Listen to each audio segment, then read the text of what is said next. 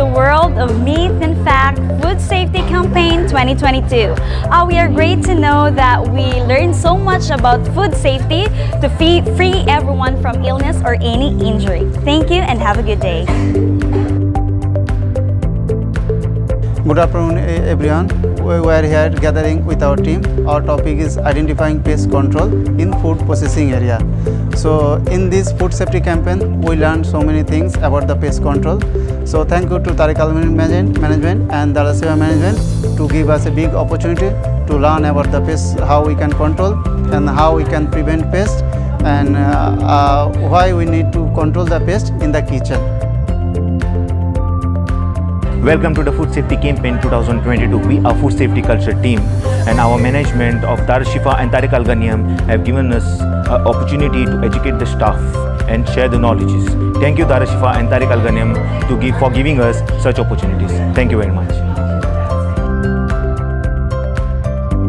Okay, good afternoon. We are here to share our knowledge and ideas about how to understand and rate food labels. So it will uh, it will it will impact to your health and personal dietary needs.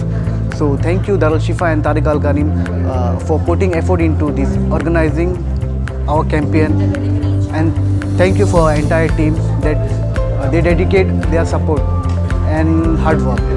Thank you.